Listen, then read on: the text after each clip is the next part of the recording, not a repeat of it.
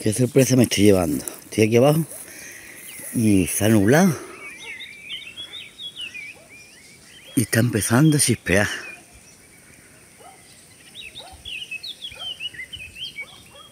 Está empezando a chispear. Qué alegría. Y tú como está todo seco. Seco y agriteado por todos lados.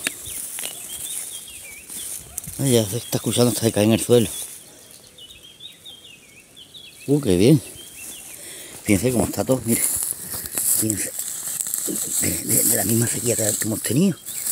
Bueno, y que tenemos, porque está cayendo una milla de agua, pero no se sabe aún. La grieta que tiene ahí. Correcto esto entero. Y es profunda, ¿eh? Digo. Por aquí arriba. Aquí arriba hay otra. La sequía. Pero menos más. Qué alegría me está dando, está lloviendo. Joder. Esto es como un tesoro, vamos. Ya se empieza a oler ese lo tan característico que cuando llueve uno dice, mmm, qué olorcito a tierra mojada. Voy a contaros qué es este olor. Como os decía, cuando empieza a llover nos viene ese aroma tan característico que decimos, mmm, qué bien huele a lluvia o qué bien huele a tierra mojada. Pero en realidad es el olor de la lluvia.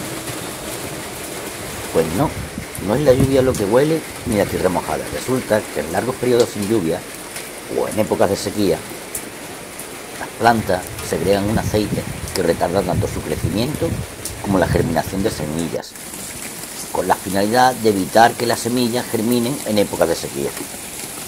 Este aceite es absorbido por las piedras, rocas y sedimentos de la tierra.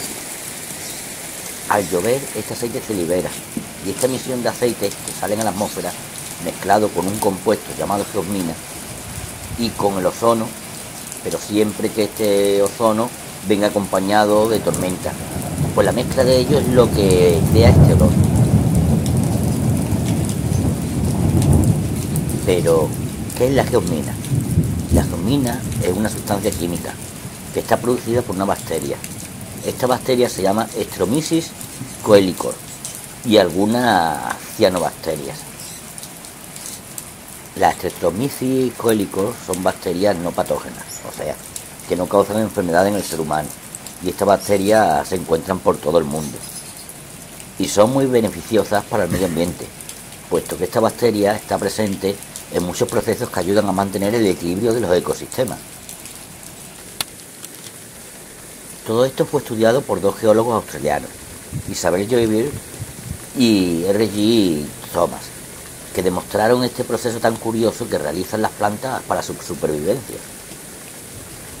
A esto se le llama petricor. Así que cuando llueve después de largos periodos sin lluvia o épocas de sequía, lo que olemos y decimos mmm, que bien huele a lluvia, en realidad es el petricor. Y según dicen otros científicos, antropólogos, que nos gusta tanto el olor a petricor porque nuestros antepasados establecieron un vínculo con este olor, ya que les indicaba el final de la peligrosa etapa de sequía y la llegada de la ansiada y esperada lluvia. Pero yo en vez de decir, mmm, qué olor a petricor, eh, prefiero decir, mmm, qué bien huele la lluvia, o qué bien huele la tierra cuando llueve. Espero que este vídeo haya sido de vuestro agrado y si así, regálame un like, que es gratis y eso a mí me ayuda un montón. Y si aún no estás suscrito, suscríbete y activa la campanita. En todas las notificaciones, por supuesto, para que puedas ser avisado para el siguiente vídeo. Nos vemos en el siguiente vídeo. Chao.